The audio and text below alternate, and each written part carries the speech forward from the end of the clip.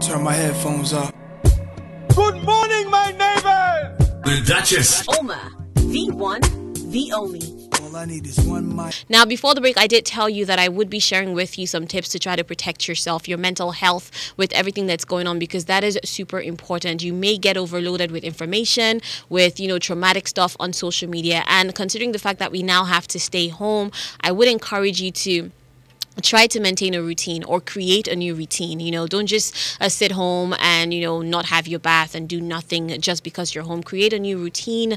Uh, try to you know get yourself involved with stuff. You know if you've been putting off working out maybe now is the time to start to work out in your home. Try not to fixate on sleep. You know stick to consistent uh, meal times and just generally try to take care of yourself.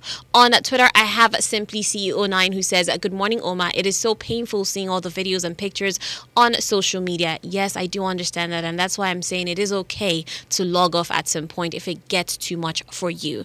Now, before I go, I do want to remind you please let us try to avoid violence. It would only create more problems for us. What we want is a better, a safer, peaceful Nigeria for all of us. Uh, thank you for hanging with me today on the Good Morning Show. I'm the Duchess Oma, the one at the only. I'm going to take you right back to music at exactly 9 a.m. Political Voices comes up. Uh, stay right here. This is 92.5.